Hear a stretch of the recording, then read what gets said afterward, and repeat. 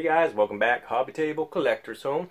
Here where we like to just uh, give shout outs or opening videos, product descriptions, reviews, uh, a little bit of everything hobby based related so you can find out is it worth your time, money, whatnot. If you're interested into it, just get some basic information. So today we have one of our more favorable ones. And that is from the Pristine Auction. Now, this is a website that does have, um, it's an auction-based one, of course. Uh, they have different categories ranging from entertainment, sports, music, uh, coins, historical stuff, a little bit, little bit of everything. Uh, they had auctions that run daily, uh, weekly, uh, different categories again to elite. Uh, it, it's a broad, broad-based everything type of thing, but what we got in here today is a item that we picked up under their entertainment, and this is from the Wizard of Oz. Now this is an 11 by 14.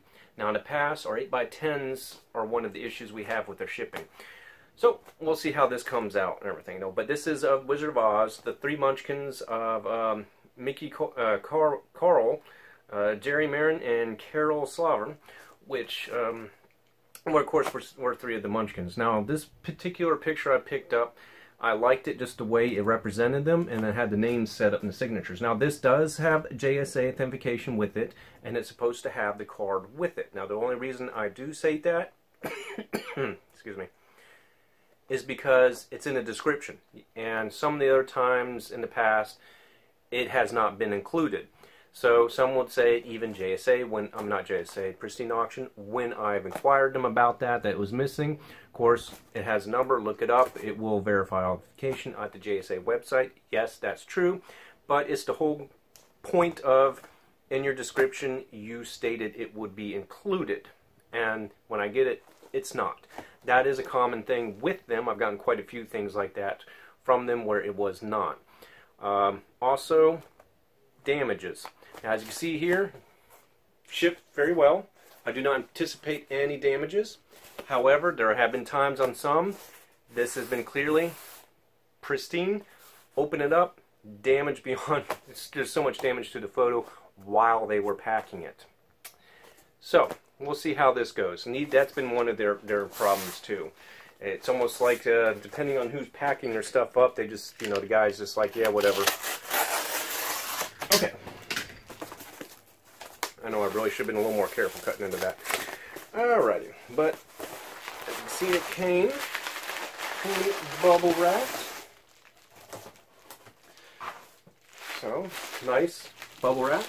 Cards there.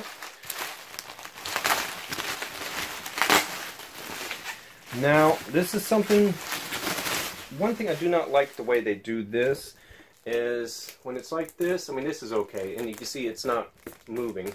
Some of the others, oh there it goes, it starts to slide. Through shipping and everything, it could slide around, but this one's fairly tight, so I'm not anticipating any issues with it. But I have had some where some of the damage in the quarters has come because it was sliding around as it was being shipped and got caught in, in there.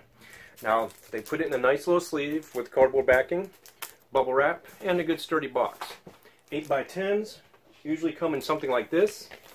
And a package like this, sometimes not even this, it's like an Avery document sleeve, three ring binder sleeve. They drop it in, put a piece of cardboard behind this, not even in with it behind, and just drop it in here. And that's the only protection you get. So they get damaged fairly easy. And our packaging usually does not state do not bend or anything. But that's their 8x10s. Alright, so I am going to take this out here really quick because in the past I've seen that some things look good and when I take it out later I see it's not so good. I've actually gotten some where you can see where it actually had mount damage, where they, it was previously owned by someone and they mounted it, framed it, and it came out bad. But, okay. As you can see, this is why I liked that one, the way it set them up. And as you can see, let's see if it comes out. I'm trying to get there. There you can kind of see there's a lot of wrinkling damage right there, fold, but it's not showing up on the front here, so I'm okay with that. This is very thin paper, type of, it's not really photo paper or anything, but I'm still okay with it. Um, I do not like, it's an uneven cut. You can see how it was cut. You got a border going on up here, and it does not cut evenly. So when they trim this, that was a quality issue that someone wasn't paying attention that that wasn't cut right. It's still a nice piece, JSA. So this is a very delicate because it's very thin. But like I said, I liked the way the setup was. It tells the person's name, the character they played, and then the signature right underneath them. So I do like that. And I just do not like that piece right there, which, if looking at the picture here, because sometimes if there's an issue, they will say see pictures, and they will give close-ups on it. Now this, they did not give any details on it, that anything like that was wrong. And if I click on it to see the picture, just give this a second to load up. They made it difficult to see that that was an uneven mount. So oh, I'll have a little sh shot up on here and I'll post a picture on there what's on there. But as you can see, the way the picture is, they have a white border around it. That's not part of that photo, so you did not see that. Yeah, I'm looking at it right now, and I they made it so it was difficult to tell, and they did not state that in their description. These are the type of things that I do not like about them. They are kind of minute, but it's not what you're expecting to get.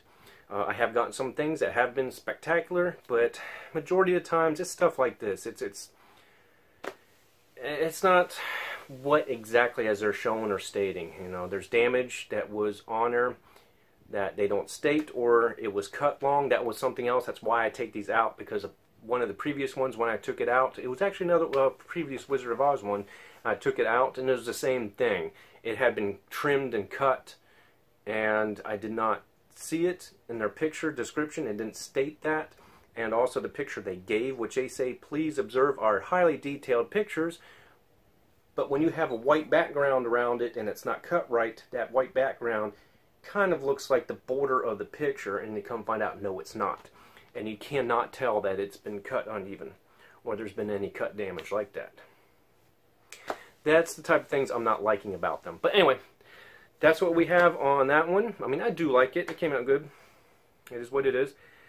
So, join us more. Um, I do have something on the way on one of our little Facebook ad checks. It's been a while on those, and what that is is if you're if you're on Facebook, you see sponsored ads come up all the time, uh, giving product and whatnot, and some of them you can tell they're just load of a yeah a load. We'll just say that, and some of them they seem legit. You can't tell.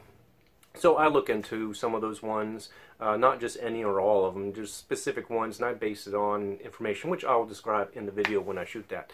So thanks a lot, guys, and until then, um, happy collecting, safe collecting, and that, again, was Pristine Auction. Give us a thumbs up, thumbs down, let us know what you do like, what you don't like, and based on don't likes, we will try to make improvements and get more of a gear toward of what you would love to see, to see how this goes. Thanks a lot, guys, and we'll catch you on the next one. If you know of a business that you're curious about and would like us to check out, or if you have a business that you know of is really good and like to pass the word on, send it to us at info at thehobbytable.com. Again, that's info at thehobbytable.com.